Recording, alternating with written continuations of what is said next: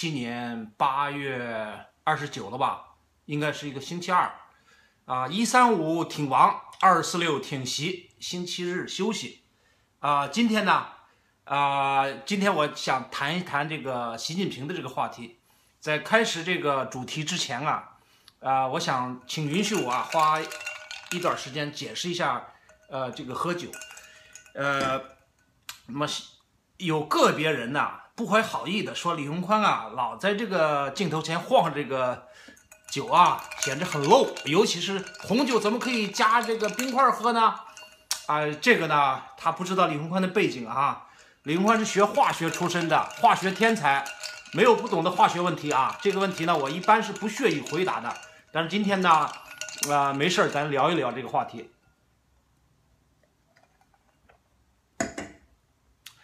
啊，我这个酒啊是自酿的啊。我之所以在镜头上跟大家介绍呢，就是因为我在向全世界的华人推广一种全新的生活方式，就是让你彻底颠覆过去你对于酒类、对于酒的认识。注意啊，彻底颠覆，就是你要把过去所有的关于喝酒的知识全部抛弃掉，那个重新开始认识酒，呃，酒怎么样成为我们生活的一个嗯一个乐趣啊，一个饮料，呃，更重要的是一个一个养生啊，一个健身啊，一这么一个呃好东西啊，这就是为什么我呃花了好几年的功夫啊研究出这个东西来。那么你过去喝的呢都是商业酒，啊，你所形成的那些认识，包括红酒不能这个加冰喝呀，对吧？呃，它有它的道理，因为那个是商业酒，咱们这不是商业酒。我自己酿的这个酒，在这个配方的时候啊，在酿的时候呢，就已经考虑到了这个浓度了，就说加了冰块之后，冰块一稀释。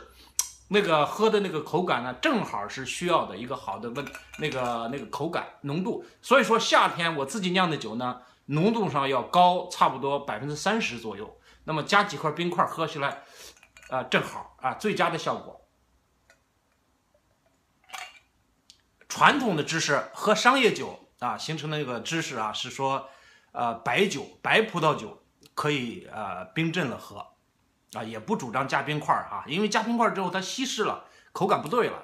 红酒呢，就最好就说室温喝啊，室温就温度啊，就就不一定降温喝。这个是那个时候和我们自己酿的酒啊没有任何关系啊，咱们可以抛弃那些错误的知识。当然，有些人呢没有我们这样的化学功底啊，他就墨守成规啊，以为那就是绝对真理了，错了。啊，生活当中的绝对真理要去自己要自己去探索，自己去摸索，啊，不断的跟啊高人去求教，啊，不断的跟同人之间，啊，大家聚下来喝一喝，啊，那个三国里不是讲吗？一壶浊酒喜相逢，为什么要加一个浊字啊？就是不透明啊，就是浑浊呀，啊，它是有它的特别含义的。啊。我今天就给大家留个作业啊，请大家去 Google 一下，百度一下。为什么是一壶浊酒喜相逢啊？这个我今天先这个卖个关子啊。还有个别人攻击我说为什么戴墨镜？其实我前面解释了啊，室内戴墨镜啊，按照传统的说法纯粹装逼啊，在我这儿不是，我是鼓励，我是鼓励更多的人戴着墨镜，甚至戴上口罩，哎。上镜啊，出来表达自己的观点，克服恐惧。为什么呢？咱们中国人啊，生活在一个非常不幸的年代，受共产党的这个压迫，我们自动的就觉得说一些话就是犯罪啊。这个是一种非常落伍的观念，我们必须要克服它。我们要一步步来啊，我们要一步步来啊。可以，大家锻炼着，想说话的，想上镜的，我鼓励大家弄个墨镜，哎，大一点的，弄个蛤蟆镜戴着。啊，还可以戴个帽子啊，再再不行的话戴个口罩，那口罩就最好憋了啊。就是说试着说，哎，表现自己啊，锻炼自己的演讲能力啊，变就说让让这个比较综合的一个面貌去，这狗在捣乱，去跟大家去交流啊，这个非常重要不是说我李云宽要装逼啊，不是这个意思啊，就是纯粹是引领一种风潮。觉得啊戴着墨镜，室内也可以谈非常严肃啊非常呃非常正经的问题，不是说这个戴墨镜的一定都是坏人啊，都是要骗你上床的，没事儿啊，没那事儿啊，在我这儿不存在。那么今天就进入正题，讲一下这个习近平啊，习近平，我们讲讲习近平主席的这个难处。他现在非常难哈，这上一呃昨天啊讲了这个习近平，呃就是要要整顿这个中央军委，他把中央军委的这个全部啊就地免职啊，就要重新筛选。那为什么这么做呢？很明显吧，他不信这些人啊，他不相信中央军委现在这些高级指挥官，所以中国人民解放军的这个指挥力量，他不信这个东西，他又没有办法一步就位。啊，往前挪，就是把军队从这个中国的政治斗争当中彻底呃隔离。呃，军队呀是一种武力啊，它是一种按说按照正规的说法啊，军队是不应该介入中国的政治斗争的。就是说，军队应该保持中立啊，就是这个军队它不应该属于中国共产党，它应该属于中国人民，就是说属于国家。就是军队国家化这个概念在国际上是流行的，它是一种进步的观念啊，它不应该属于某一个呃团伙，像中国共产党，它不应该啊，这个从根儿上就是错了。从苏联学来的那个党指挥枪，就把中国人给害苦了啊。所以中国未来啊，未来在民主化的过程或者之后，军队一定要退出政治斗争，政治斗争是一种文明啊，必须是。懂基本礼貌的人，按照罗伯特议事规则坐下来，大家讨论出一个政治解决方案来啊，和军队没关系啊，不要跟我动武啊，你任何人可以提任何意见，大家可以文明的谈判，最后妥协达成一个民主的一个解决方案，这是正常的文明国家都做的。那么现在中国呢？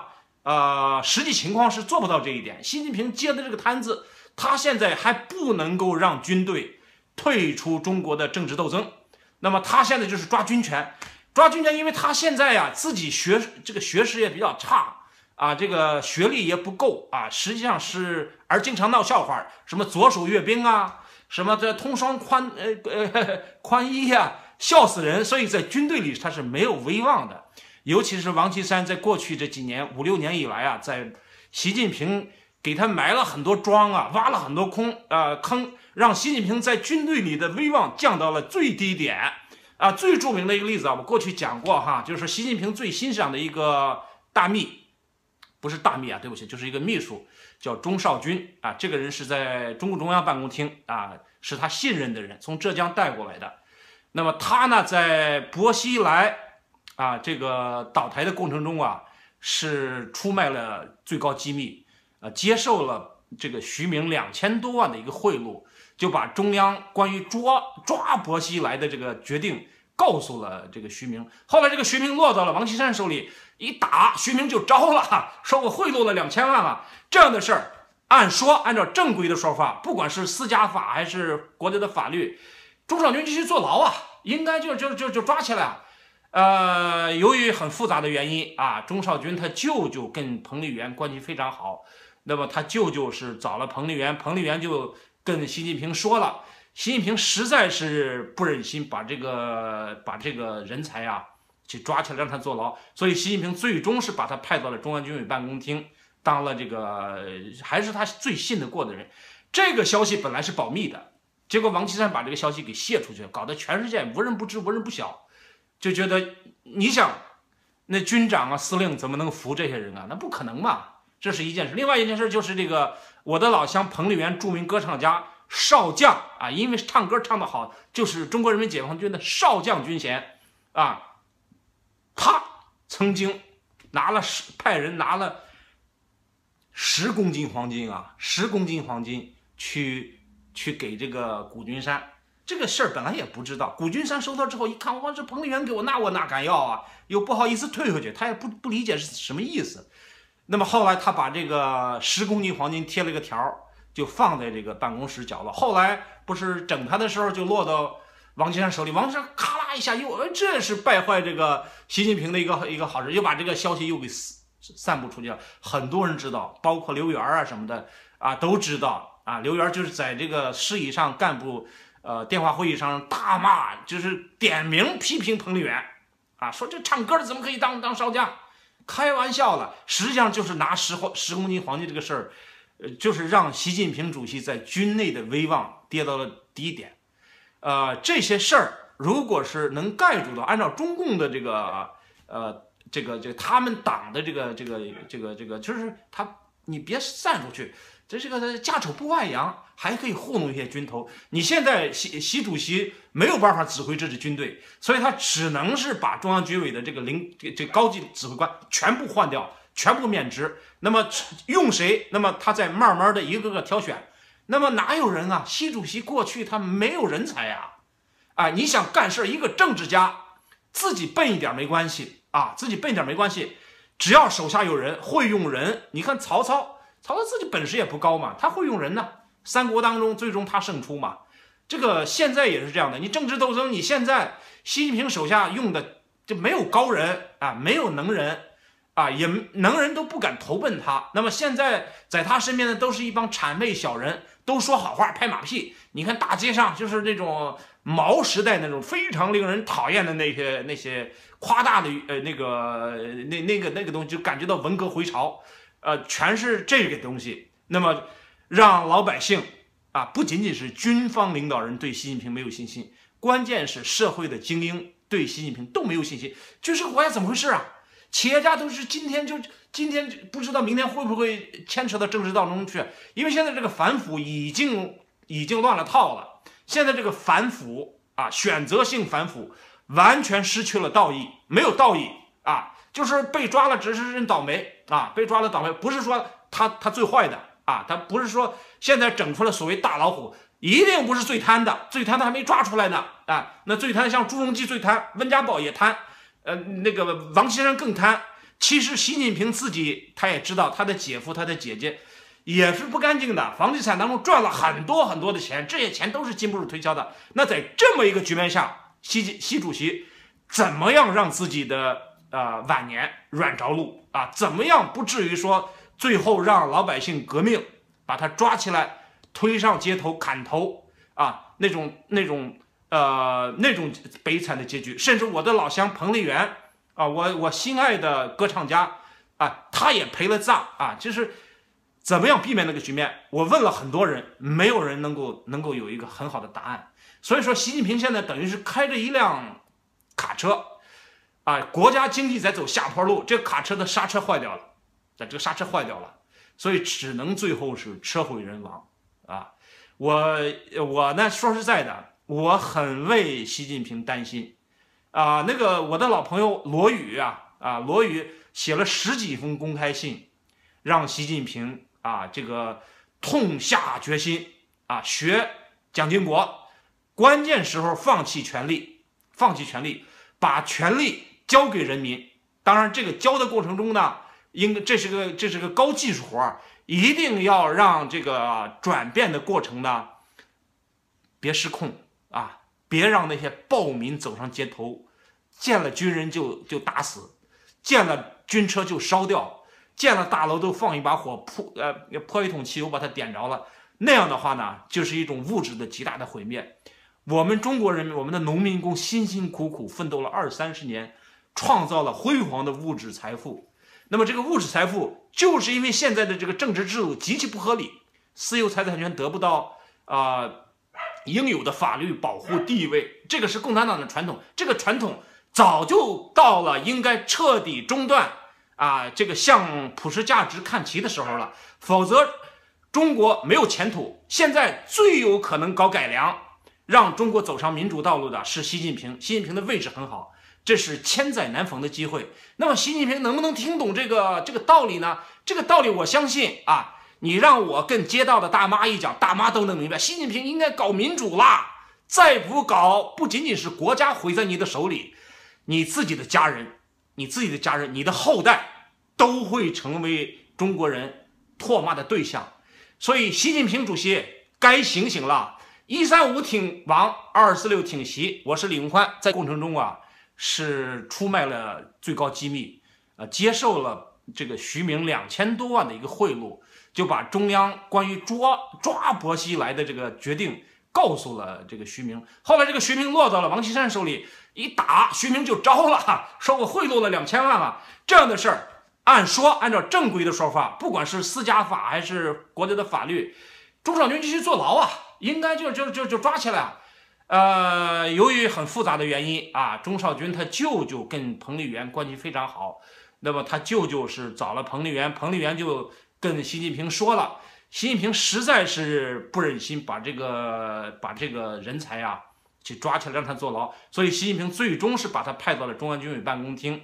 当了这个还是他最信得过的人，这个消息本来是保密的，结果王岐山把这个消息给泄出去，搞得全世界无人不知无人不晓，就觉得你想那军长啊司令怎么能服这些人啊？那不可能嘛，这是一件事。另外一件事就是这个我的老乡彭丽媛，著名歌唱家少将啊，因为唱歌唱得好，就是中国人民解放军的少将军衔啊，他，曾经拿了十派人拿了。十公斤黄金啊，十公斤黄金去去给这个谷君山，这个事儿本来也不知道。谷君山收到之后一看，哇，这彭丽媛给我，那我哪敢要啊？又不好意思退回去，他也不不理解是什么意思。那么后来他把这个十公斤黄金贴了个条儿，就放在这个办公室角落。后来不是整他的时候，就落到王金山手里。王金山咔啦一下又，这是败坏这个习近平的一个一个好事，又把这个消息又给散。散布出去了，很多人知道，包括刘源啊什么的啊都知道啊。刘源就是在这个市以上干部呃电话会议上大骂，就是点名批评彭丽媛啊，说这唱歌的怎么可以当当少将？开玩笑了，实际上就是拿十黄十公斤黄金这个事儿，呃，就是让习近平主席在军内的威望跌到了低点。呃，这些事儿如果是能盖住的，按照中共的这个呃。这个这个他们党的这个这个这个这个，就是他，你别散出去，这这个家丑不外扬，还可以糊弄一些军头。你现在习习主席没有办法指挥这支军队，所以他只能是把中央军委的这个领这高级指挥官全部换掉，全部免职。那么用谁？那么他再慢慢的一个个挑选。那么哪有人啊？习主席过去他没有人才呀，啊，你想干事，一个政治家自己笨一点没关系。啊，自己笨点没关系，只要手下有人会用人。你看曹操，曹操自己本事也不高嘛，他会用人呢。三国当中最终他胜出嘛。这个现在也是这样的，你政治斗争，你现在习近平手下用的就没有高人啊，没有能人可以当当少将，开玩笑了。实际上就是拿十黄十公斤黄金这个事儿，呃，就是让习近平主席在军内的威望跌到了低点。呃，这些事儿。如果是能盖住的，按照中共的这个呃这个这个他们党的这个这个这个这个，就是他你别散出去，这这个家丑不外扬，还可以糊弄一些军头。你现在习习主席没有办法指挥这支军队，所以他只能是把中央军委的这个领这高级指挥官全部换掉，全部免职。那么用谁？那么他再慢慢的一个个挑选。那么哪有人啊？习主席过去他没有人才呀。啊，你想干事，一个政治家自己笨一点没关系啊，自己笨点没关系，只要手下有人会用人。你看曹操，曹操自己本事也不高嘛，他会用人呢。三国当中最终他胜出嘛。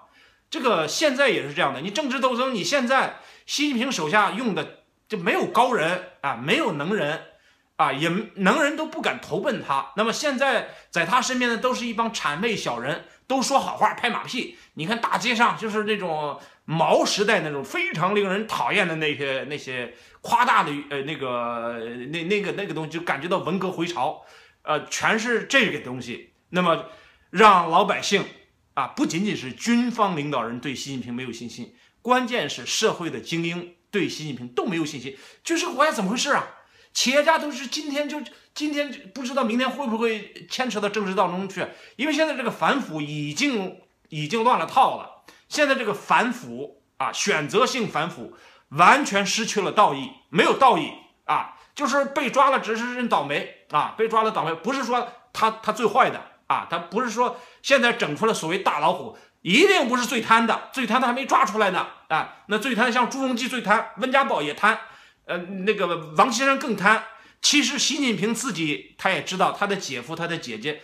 也是不干净的，房地产当中赚了很多很多的钱，这些钱都是经不住推销的。那在这么一个局面下，习习主席怎么样让自己的呃晚年软着陆啊？怎么样不至于说最后让老百姓革命，把他抓起来推上街头砍头啊？那种那种呃那种悲惨的结局，甚至我的老乡彭丽媛啊，我我心爱的歌唱家啊，他也陪了葬啊，就是。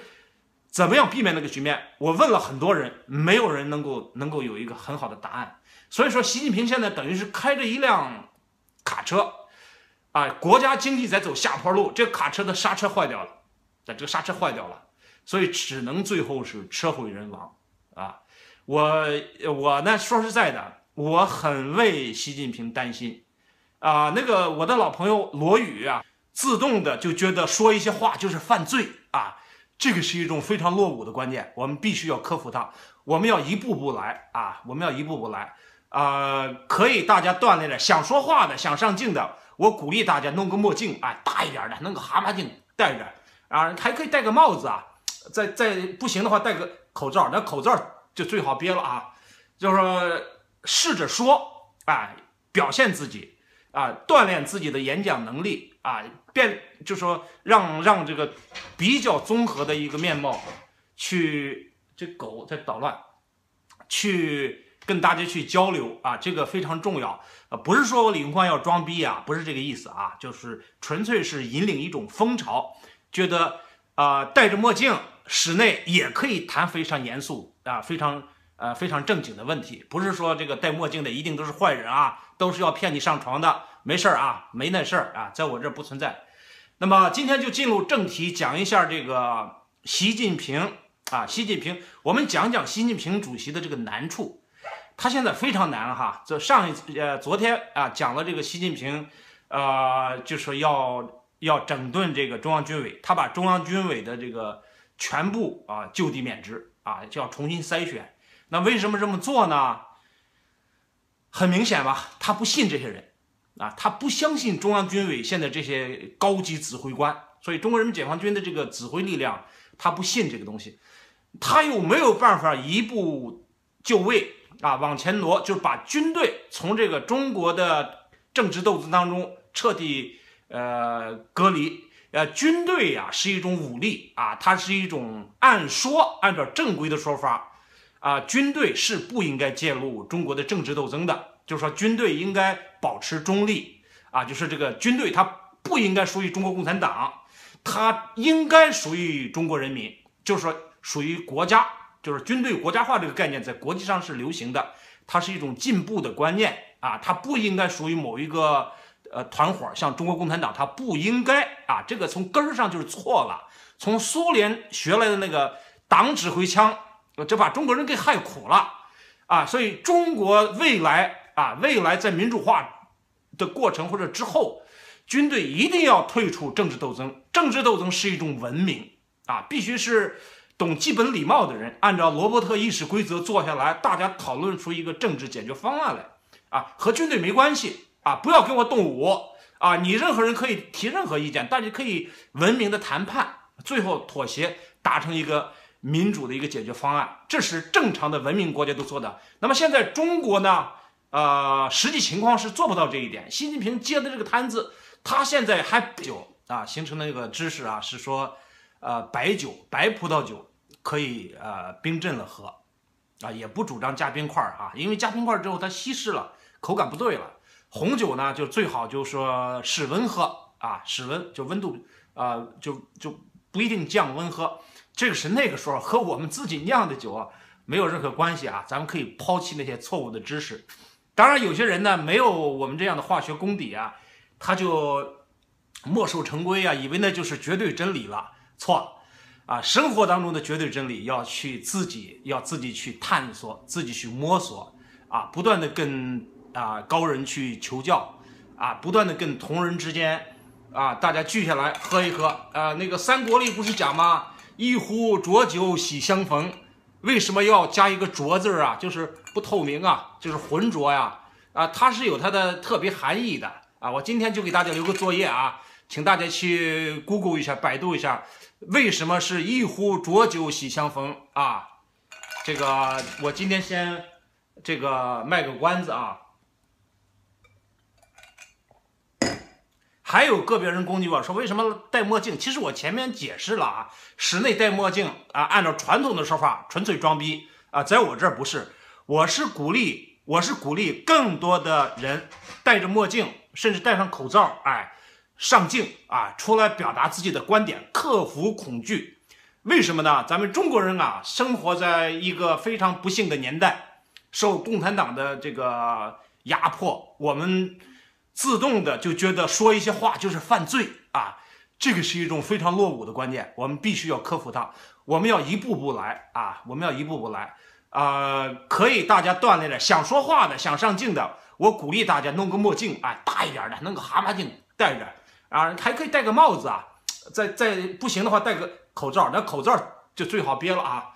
就是说，试着说，哎，表现自己啊，锻炼自己的演讲能力。啊，变就说让让这个比较综合的一个面貌，去这狗在捣乱，去跟大家去交流啊，这个非常重要啊，不是说我李云宽要装逼啊，不是这个意思啊，就是纯粹是引领一种风潮，觉得啊戴着墨镜室内也可以谈非常严肃啊，非常呃非常正经的问题，不是说这个戴墨镜的一定都是坏人啊，都是要骗你上床的。没事儿啊，没那事儿啊，在我这不存在。